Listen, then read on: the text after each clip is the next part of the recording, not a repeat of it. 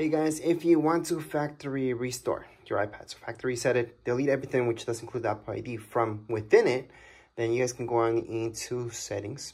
So in your settings, general, all the way down, transfer and reset iPad, and then from here, erase all content and settings. So tap on there, then this will delete everything, your pictures, personal information, Apple ID from it, everything from within this iPad.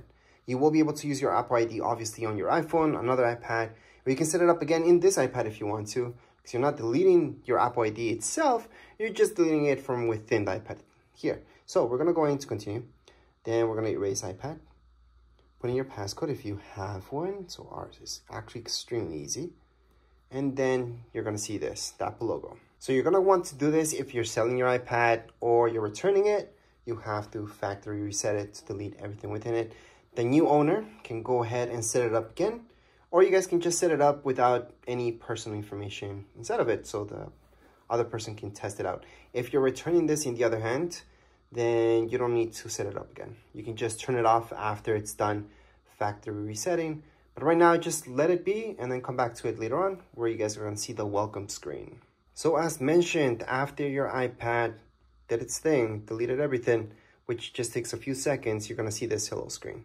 You guys can scroll up and set it up again or if you're just returning it or selling it without setting up, go ahead and press to fully shut this down.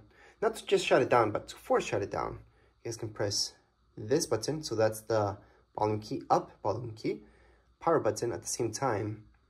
And you're gonna see this message popping up on your iPad. So let me just turn this around so you guys can see that a little bit better. And it's gonna tell you slide to power off.